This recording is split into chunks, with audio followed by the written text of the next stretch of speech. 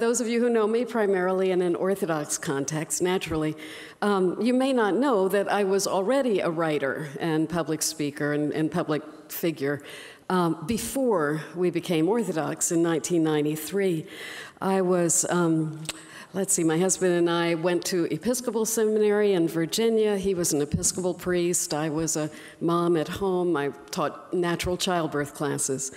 And I was I had been converted from pro choice to pro life by an article I read in Esquire magazine, of all places, that it just described an abortion. And I was so, I was such a consistent nonviolence person, anti war, anti death penalty. I was vegetarian for a while.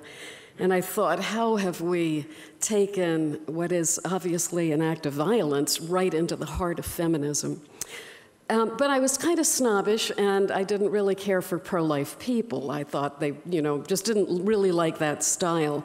Then I heard of an organization called Feminists for Life. It was a very tiny organization, but it was, it was a secular group that put forward the secular feminist arguments that abortion is actually um, that it's a form of violence and that it is a, a, bad thing for women, that it harms women, uh, we could quote Susan B. Anthony and Elizabeth Cady Stanton, and um, that was a good fit for me. So I began doing some public speaking, writing, and so forth as a representative of Feminists for Life. One day I got a phone call from a reporter at the Religion News Service, and she said, There are a couple of women that are mediation lawyers and they want to start a discussion group where they will bring together pro life and pro choice people and help them dialogue. They could facilitate discussion so that they could talk and understand each other. And so she just wanted a reaction. I said, "That sounds great. I am I think that's terrific. I'd really be in favor of that and hope to learn more about it." So the next day, the um, story came out, and it said Frederica Mathewes-Green, comma, a leader in the Common Ground movement. and a few hours later, I got a call from one of the women saying, "We understand you're a leader in the Common Ground movement." That's how these things happen. Um, so uh, I said, I, I, I love this, and I want to help out any way I can. So we, um, we started with some small groups. We started meeting regularly in small groups in Washington. And gradually it spread. Um, it was never a really big movement. It's self selected, of course. It's pro lifers who would like to talk to pro choice people, and pro choice people who'd like to talk to pro lifers. Um, so it never was going to be very big. But we managed to have 12 different cities across the US where groups were meeting regularly for discussion and had two national conventions. And um, at one of them, it was me and Naomi Wolf, you know, were paired up, the two of us talking about our own views, but also what we understood of the other side. This is not, um, it was, we called it common ground, and that was often misunderstood to mean compromise. It is not compromise. What we meant common ground in the sense of a safe space of a, of a ground where we could come together and be able to say what we believed without being attacked or, or intentionally misunderstood. It was just a safe place to talk where we might discover some possible areas of overlap. Um, so it was the idea was not to forge a compromise position, but just a place where we'd be free to free to talk freely. Um, and uh, I used to say the goal of common ground is so that we can understand each other.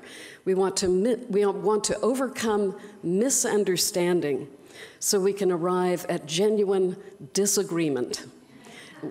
we knew we were going to disagree at the end of the day, but we didn't have to misunderstand what the other person thought or believed. Uh, this kind of communication doesn't just happen, it takes skilled facilitation. Our, um, our way to get started is we would divide people into groups of four. We have two pro life, two pro choice, and sit in chairs, you know, just four chairs, looking at each other. And one person would explain why they held the position they did.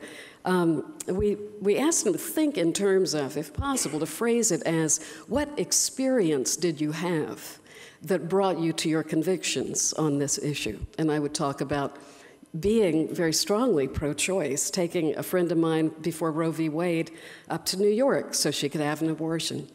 and then reading this article and how it disturbed me so deeply.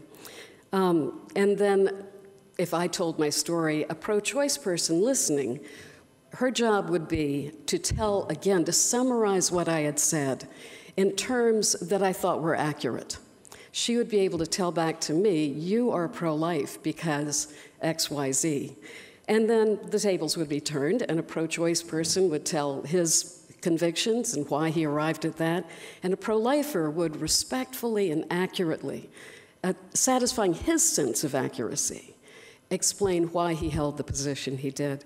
It was, um, it was very liberating to at last feel like a pro choice person really understands what I'm trying to say because we get so used on both sides to having our viewpoint distorted or turned into a parody of what it really was. It was, um, it was very gratifying, very touching to have to listen to pro-choice people who were able to reproduce what I was saying in respectful terms. And likewise, when I listened to a pro choice person and summarized what he had to say about why he believed what he did, it helped me to understand. I, I did want to understand what the motivations of my opponents were. It does no good, even, you can think just in terms of strategy. I was never in politics, I never wanted to be involved in politics. Um, but even among politicians, they, they don't want to aim at the wrong target. They need to be able to answer the sincere objections or questions of people on the other side. So, to begin with that, you have to be able to understand it. We had some useful ground rules. One was you're not allowed to try to persuade anybody. You can speak about what you believe, but you're not supposed to try to pull people around and change their mind. Another was that you call people by the, the name, the label that they themselves choose. So, I, so pro lifers would not call pro choice people baby killers, they would say pro choice. That's the term they choose. Pro choicers would not call us um, anti choice. They would say pro life. That was the name we choose. It's just, a, it's just a simple mark of civility to do that, to offer that amount of respect to the other side. And another, um, another, what I think was perhaps the most useful thing that I took away from it was that we were admonished to ask sincere questions. You were not allowed to ask rhetorical questions where you were trying to trip somebody out, where you already knew what the answer was you were trying to force them to say. No rhetorical questions, only sincere questions. And that was defined as a question you don't know the answer to something you're gen- genuinely curious about and you don't know the answer, and you'd like to find out what it is, how they answer this question. I found it to be a, um, a really useful group for me. It was very useful to me spiritually to understand the struggles of people on the other side, even the people on our own side. Um, I found, um, for example, that people who were pro life kind of political leaders um, had less of a concept of how much women wrestle with in an unplanned pregnancy than pro lifers who work at pregnancy care centers, obviously, because they're helping women all the time and they understand the range of problems that face a woman if she wants to continue an unintended pregnancy. And likewise, I found that pro choice women, who are mostly political type leaders, strategists, theorists, they were less aware that it was actually people who worked in abortion clinics who had the most sensitivity to what a struggle this is for a woman, how ambivalent she might be, what kind of pressure she might be under from the father of the child. Um, if anything, they were more ambivalent than the, the, political strategists were about whether abortion is actually helping women or not. Um, there are always such complex situations that people see both in pregnancy centers and inside abortion clinics actually dealing with these problems that women have in this situation. So um, there was plenty of good advice there for people that um, disagree, uh, some tools you can use for how to listen to people um, who disagree with you. Uh, to listen to them, not to label them with names or labels they wouldn't choose, to ask questions that you sincerely wonder what the answer is. Don't try to trip them up, and don't spend all your time trying to persuade them. Try to grasp what they're trying to say. Uh, one thing about this, though, is we were proceeding on the assumption that um, kind of the whole framework is you have pro life and pro choice, and they're equally in balance. But that isn't really the case because um, we, we didn't come to the table with equal amounts of power or social standing or resources. There was one side that had all the power, so to speak. The pro choice had the status quo. That wasn't going to change. They had the support of the media in general. They had even even among Republicans, even under Republican presidents, they had most of the political power. It was the fashionable position. It was what the in crowd thinks, is the support of the, of the pro choice position. And um, I think we're naive if we don't make account, make allowances for that or uh, keep that in the account when we think about dialoguing with those who disagree. Um, that uh, it matters if you're if you're in the in crowd. It does give you more power for your position or your opinion. And uh, I think there's a, an easy test if you're not sure where does the power lie in any particular controversy. Uh, I call it the New York Times test. Uh, what position would the New York Times endorse? Well, if you can identify that, then you really know where the power lies. Where, what is the elite? What is the, the, um, the certainly in our culture, the, the media, entertainment, um, the academia, all of that will support one side more strongly than the other.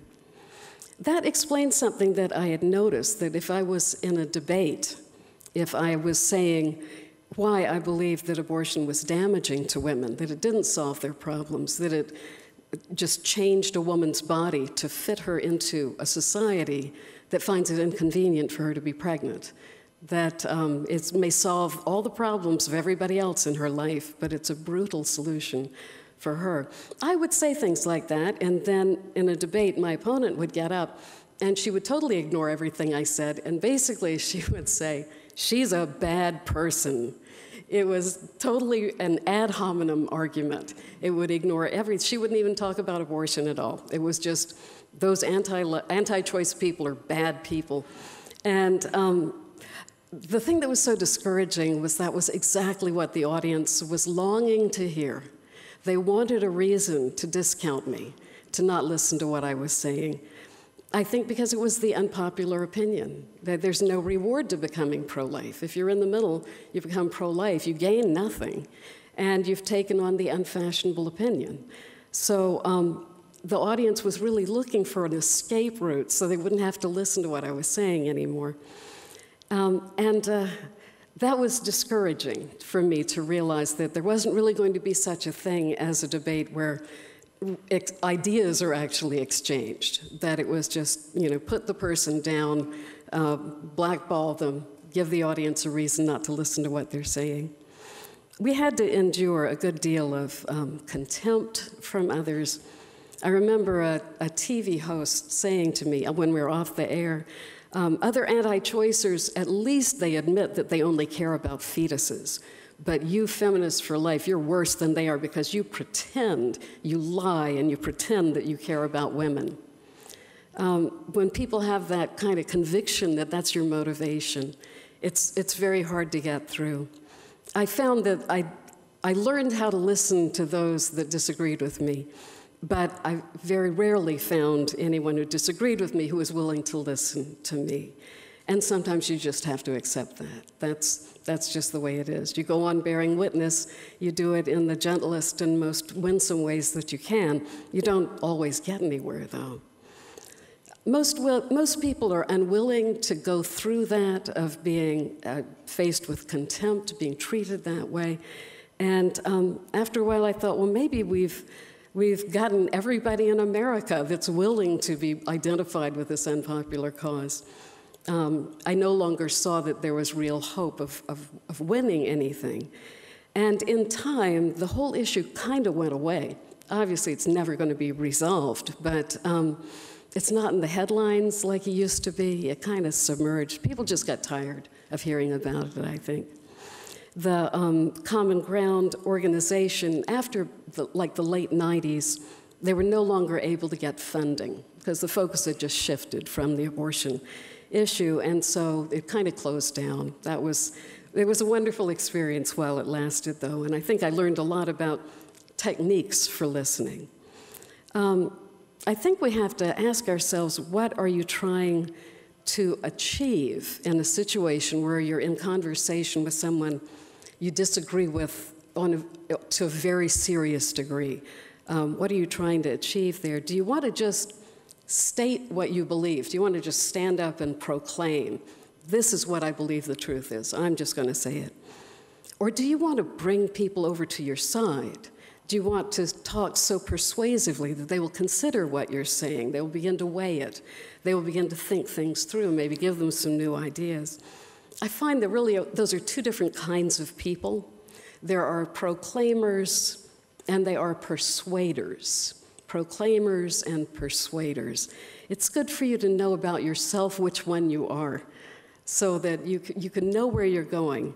Um, I, I noticed not long ago, um, we, we put up, we hold up, literally, we hold up as an example in the Orthodox Church, St. John the Baptist. We hold him up on our iconostases, and he stands there with his head in a bowl by his feet and a scroll saying, Look what happens to those who rebuke the ungodly. Um, and uh, we really don't do. There's not much climate today where you can rebuke anybody for their sexual behavior.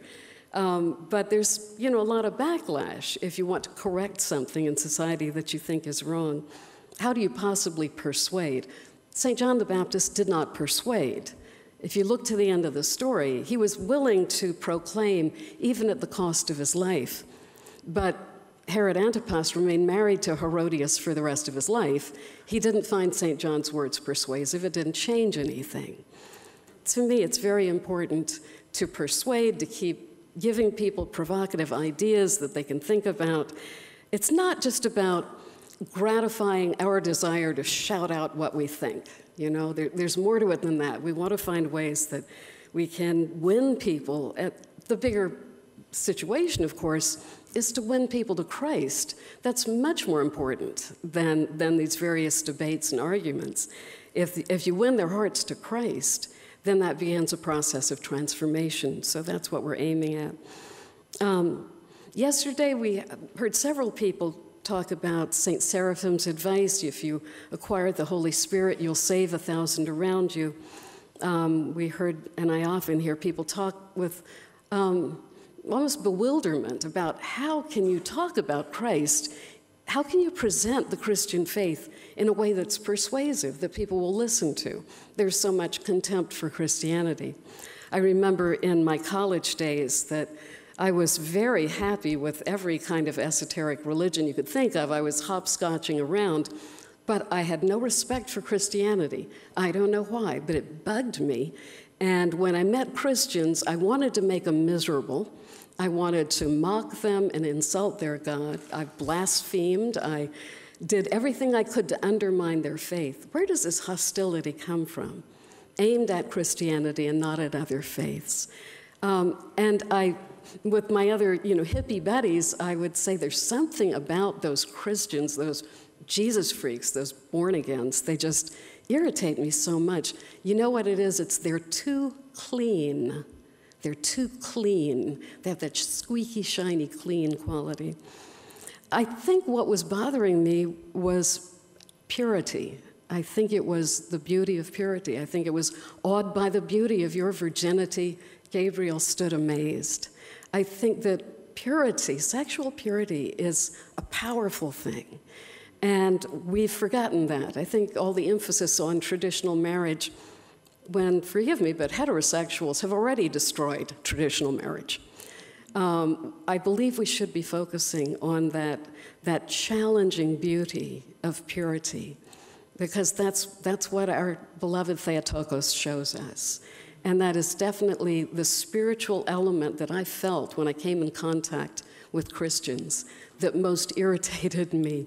I think there's a power there. Well, um, I'm going to wrap up. Um, yesterday we were talking several times about, as I said, St. Seraphim, acquire the Holy Spirit, you'll save a thousand around you. How hard it is to speak of our faith. As, as soon as you say Jesus, people stop listening. It's like America was given an inoculation with Christianity. They got just enough of it to make them immune, so they can't take it seriously. Um, so it seems like the only thing we can do is live the life, try to be transformed, try to be the kind of person that others, that others sense and they're drawn to and attracted to. Some decades ago at a conference, I heard that approach called evangelism by narcissism that I am just going to be so lovely and so peaceful and so profound that everybody will be drawn to me and they'll say, Oh, what is your secret? How do you get to be like this? And you know, if you think about it, think about you, if you met a wonderful, lovely, peaceful Buddhist, would you leave Christ? You know, you're not going to leave your deep beliefs just because of this one person who's so exemplary. Um, I, I just had some doubts about how, how effective that is. Definitely, we have to do it. We have to live transformed lives. But um, I don't know if that's the thing that we can really expect will cause people to change. For one thing, the ways that Christ changes us, that, that we grow in humility, that we grow in kindness and gentleness, these are not things that the world respects. You know, they, they expect the powerful guy that punches out his opponent. They expect, they respect power, they respect sexual attraction, they respect so many things that aren't necessarily the ways Christ is going to change us.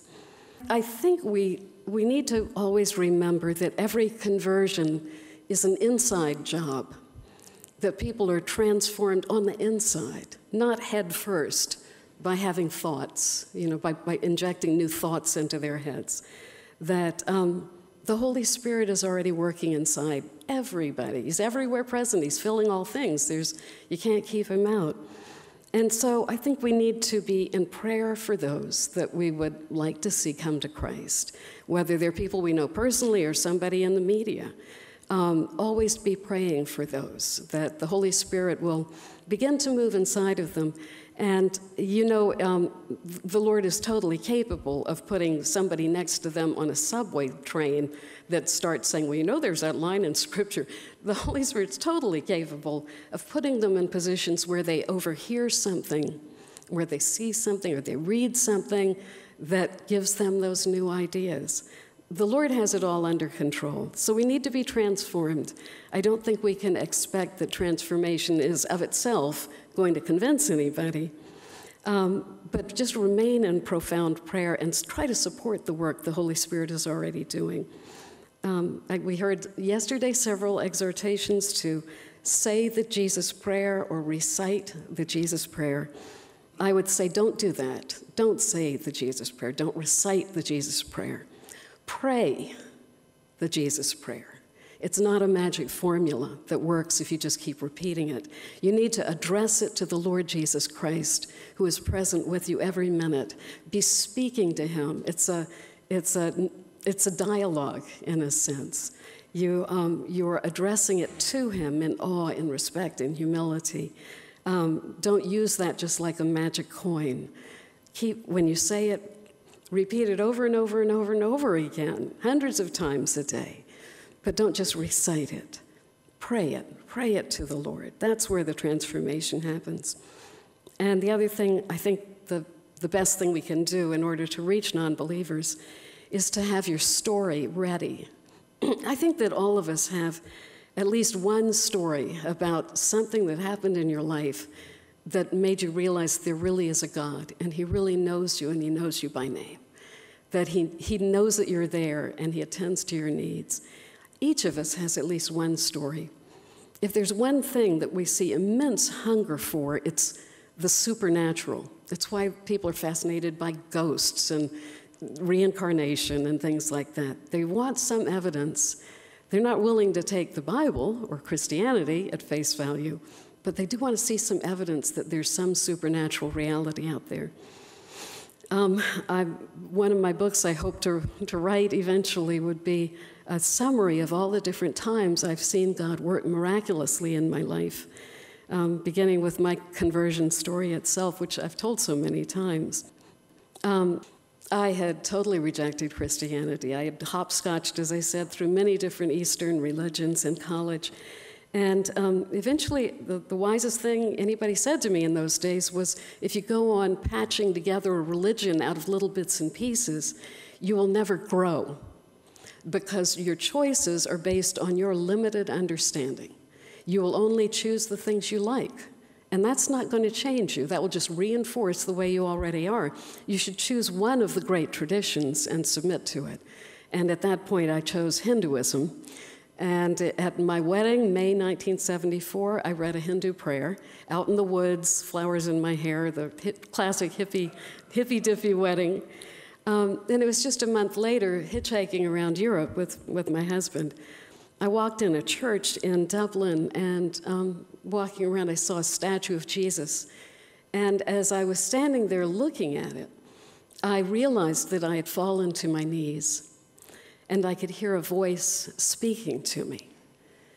It wasn't, uh, um, it wasn't anything I heard with my ears. It was like an inner voice. And it said, I am your life.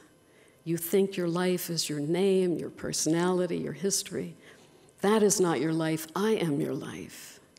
You think your life is the fact that you breathe and that you, you have biological liveliness. But that is not even your life. I am your life. I am the foundation of everything else in your life. Um, it, was, it was frightening. I, I stood up again. I felt very shaky. I didn't know what to make of it. Um, it took me a while for my theology to get in line with that. I was still, well, now instead of a Hindu, I'll be a Christian, but it's all the same. It's still all one world religion. It took me a while and some teaching to, to realize the fullness of the faith. It was like there was a little radio in my heart that I had never known was there, and suddenly it snapped on, and um, this voice just filled my awareness. It was like, um, it must be what taking crack must be like, because I was so addicted to Jesus Christ from that moment onward. I wanted nothing but to read the Gospels, to pray, to talk to Him, to think about Him, to talk about Him. Um, it, God can do that to me, He can do it to anybody. So if there's somebody that's on your heart that you pray for, that they'll come to Christ, just know that God can leap over any wall that we put up. Um, he can turn anybody around and fill them with that desire to draw closer to Him. Um, so, anyway, I hope to write a book that will start with that story and tell all the many miracles and interventions I've seen in my life. But the world doesn't need one book with 50 stories in it. The, the world needs 700,000 church going Orthodox Christians in America, and they all have stories you will all find opportunities to tell your stories. So prepare your story, live the life, pray, prepare your story. I think that those are the ways that we should go about trying to win the world back to Jesus Christ. All right, um, finally, here's my friend Rod, and uh, I'm going to let him take over, or Rebecca. Come on over, Rod.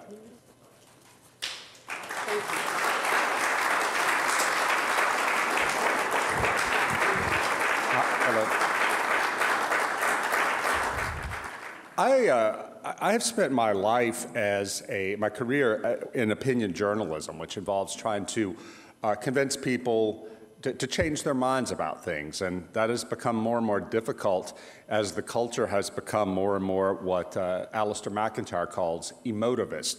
In other words, people, if they feel something is true, they think it's true. It's very hard to, to uh, use the traditional methods of, of argumentation to convince people if, um, if they don't feel in their hearts that something is true. Uh, normally, we would use reason, logic, um, you know, premise, premise, premise, conclusion. Um, and I would get so frustrated when I would be when I would write columns that would make follow this form of argumentation, and it wouldn't move people. They it's like they couldn't read what I was actually saying. But when I got on the editorial board of the Dallas Morning News, which is maybe 10 of us who would sit around and debate issues all the time to try to come up with uh, uh, an editorial line on any political or cultural issue we were writing about, I began to see why my standard column uh, uh formula really wasn't working. Um, because, and this involved me having to listen more closely to my colleagues, not in the sort of narrow forensic sense of listening for weaknesses in their argument and pouncing to point them out and trying to you know, pin them to the ground, but actually to listen to them and, and to empathetically to try to understand why they believe the things that they believe so that I could put myself in their position and hopefully try to convince them uh, that they were wrong and I was right, but to do it from a, from a more empathetic, emotional point of view. Now, sometimes doing that, things got flipped, and I, uh, I had my own opinion changed. But that's okay, because we were trying to search for the truth, not just to defeat each other. Um, although sometimes I, I, think my boss, who was female, would have said that about the guys on the editorial board, that we just wanted to defeat each other, just to beat each other. And that was one instance in which I actually learned something about the difference between men and women in these kinds of, kinds of debates. Um, our boss, uh, again, who was a woman, she had a really good way of trying to bring us all together toward a sort of consensus, which is what we were, we were looking for. By, but she would have to sort of keep the male egos on the editorial board, me having one of the bigger ones, in check. Um, and uh, so having to learn, learn how to listen to people was really an important aspect of my job so I could do it well. Um, I, I think about the times some of my colleagues on the editorial board changed my mind about things. What did they actually do to, to make that happen? Well, in, in some cases, it was the standard thing. It was, um, you know, they showed flaws in my reasoning uh, of my position and caused me to change my mind. But as I was thinking about it, preparing for this, uh, this presentation, I realized that more often than not, I had to believe that my editorial, my colleagues, were not simply trying to defeat me, but they were listening to me. They showed me that they had heard what I was saying, and they simply disagreed. They, that's all they were doing was disagreeing. They weren't any sort of threat to me.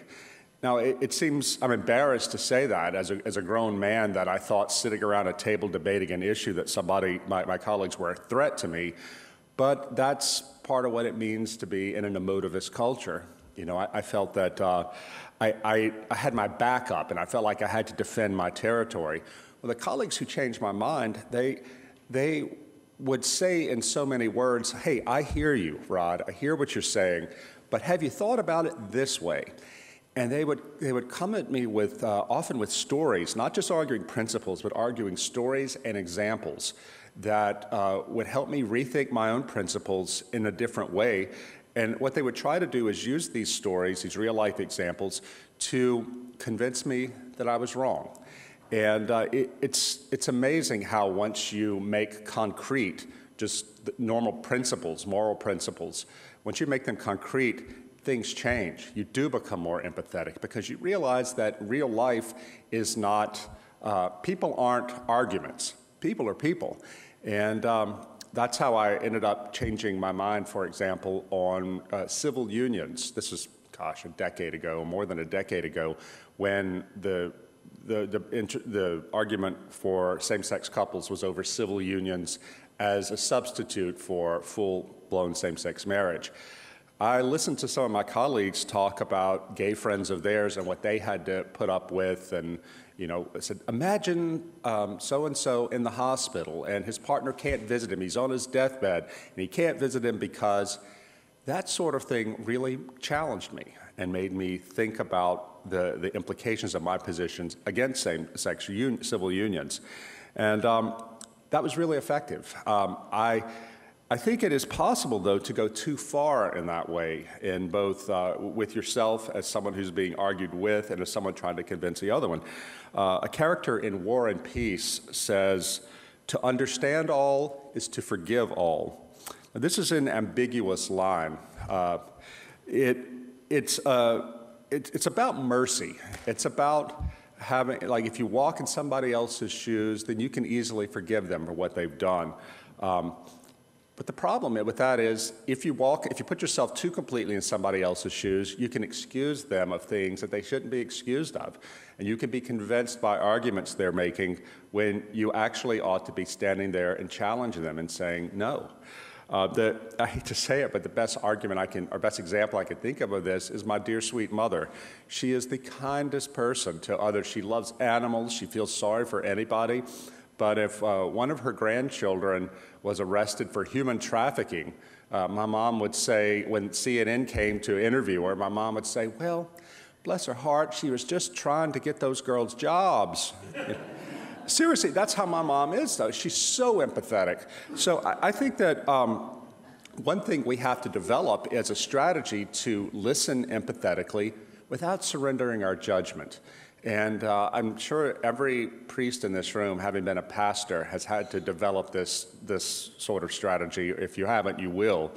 Um, because people are really manipulative. We had a case in our parish recently with a, a recent convert who was extremely manipulative in this way. We didn't realize it till it was too late, and he's no longer part of the parish. But um, we, several of us in the parish who had tried to help him, sat around feeling very, very burned by the things he had said to us because we had put all our guards down. We knew that we, we felt that he was manipulating us, but he had been really damaged over the course of his life by this or that, and we didn't see what was coming. And we realize now, we were talking about it with Father, um, how we should have been more, we should have challenged him more. But we were totally disarmed because we felt sorry for him. And um, you know, we, we were all talking. We're going to end up having to have a session with those of us who tried to minister to this guy and help him out. We're going to have to get together and have a session and analyze how things went wrong.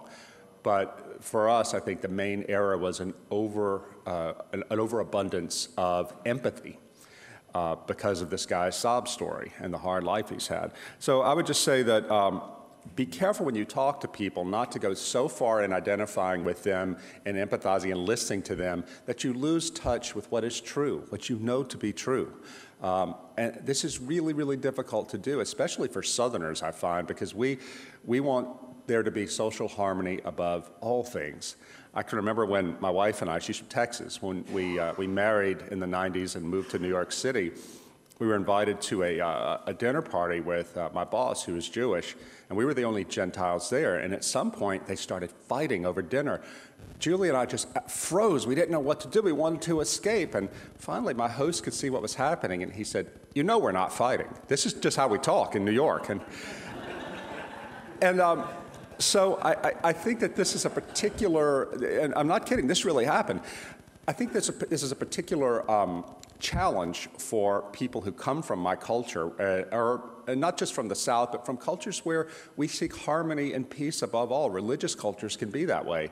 Um, that we try so hard to to show the other that we can reach peace, we can reach agreement, and be diplomatic, that we surrender things that we really shouldn't surrender. So, um, I mean, I, I would have in those days when I was getting used to living in New York, I would have said just about anything to calm people down in situations that were rancorous. But in fact, they were just having debate. This was just the local culture. Um, so it was, I had to really learn a new strategy for how to listen to people and realize that they're not really angry, they're just New Yorkers. Um, and I think we can all find that wherever we live, that there, there, there are things like that. Um, Finally, I wanted to mention uh, the issue of how should we react as Christians when our interlocutor is disagreeable and even insulting. Um, this is where, believe it or not, praying the Jesus prayer has helped me a great deal. I, I have had a problem most of my life with anger. I'm quick to anger. And that really affects my judgment. It has affected my professional judgment. Um, I'll confess to you that you know, we were living in New York on 9 11.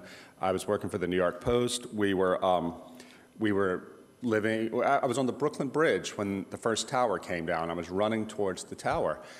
I was so traumatized by that event, um, as everybody here was, but for me, I just could not get over my rage. And I was willing to believe anything my government told me to justify war. And uh, I look back on it with such shame. You know, I thought the people who were arguing against the Iraq War were either cowards or fools. And I said they, and I wasn't able to listen to them because I felt so threatened by what had happened on 9 11. And I was so angry about it that I wanted to get what I wanted, which was revenge, even as we now know on people who had nothing to do with it. I say that not to relitigate the war, but I've had to think in, in, in, uh, in, in repentance of how my strong emotions about that war led me to believe things that just weren't true. Um, and uh, I wish that there had been that someone had been able to get to me, or I had had my defenses down enough to where I would have been able to listen to what they had to say. But I can remember the, the people who were against the war and who were conservatives like me, I wouldn't listen to them. I just could not hear them. Uh, again, I thought they were cowards or fools. They would have had to have walked away from me back then because I was incapable of hearing them. And I, I think I've had to, um, I've had to develop that skill over the years of learning how to be calm when I'm faced with a situation that makes me really angry, with a person who's making me really angry. Uh, over the years, practicing the Jesus prayer and learning how, uh, learning how my own sense of anger and, and being, a quickness to, to rage has affected me and affects my judgment. I've learned how to be calm and listen to people who say outrageous things, even insulting things, without, without reacting in the same way. But I've also had to learn how, you know, I'm not going to get anywhere with this person. This person is not listening to me. This is not a real dialogue anymore, and walk away from it. Again, the guy from our parish I just mentioned, um, we finally, in our group, had to decide that he can't hear us anymore and to continue talking to him uh, we, we kept trying to listen to him and respond to the things he was saying, but he kept moving the goalpost. And uh, it was a hard thing to do, especially for our pastor who loves this man and you know is his spiritual father. But it was a hard thing to do to have to just cut, cut and run. But it's an, it's an essential thing to, uh, to, as you develop your tools, your toolkit for listening, to know when it's just not worth it anymore. And to be able to walk away without anger, without storming off, but just to say, brother, sister, this isn't going anywhere. I'm sorry. God be with you, but we need to stop this. Uh, it's a hard, there's no, there's no formula for doing that. Um, but uh, I, I, think what makes it even more difficult uh, t- these days is the thing I started out talking about that we live in a culture where people find it very difficult to separate themselves and their sense of identity from different arguments. In other words, if you, if you reject somebody's opinion, then they say, oh, you hate me. Well, this is, this is the, the, uh, the principle or the stance taken by 13 year olds, but now it has become a, a culture wide thing. And uh, I honestly don't know how we're going to deal with it. But I, one thing I do know is that as an Orthodox Christian, again, the Jesus prayer and learning how not how to keep inner stillness when I'm in a, a, contentious situation, and to try to realize, keep straight in front of me the idea that the person in front of me is a child of God, and I need to try to listen to them and to hear them. Um, that has been invaluable at trying to negotiate the culture wars. So uh, those are my, my brief things, and I, I, think I put them in questions that we can all talk about at our, at our tables. But um, these are issues that I think all of you will, will know in your own lives are very, very pertinent because we in our country seem to be becoming more and more angry and resentful and tribal, and we see the other not just as our opponent, but as our enemy. And uh, this can't be the way of Christ. It just can't be. And I, am talking about myself too. I'm implicated in this too because of the kind of work I do. So um, let us all try our very best to keep in mind uh, what C.S. Lewis said about every mortal we meet. That this is a, you're meeting, every person you meet is an immortal being. And uh, you have to remember that. They are souls, they are created by God. And uh, I can hear myself saying these words, and I'm immediately, my, my inner editorial writer is like, don't be sentimental, don't be sentimental. but that's, that happens to be the truth. That's not sentimentality, that's reality. So thank you very much, and let's, uh, let's work on these, these things. And, and uh, well, Frederica, you and I will be coming around to the table to talk? Okay, thanks.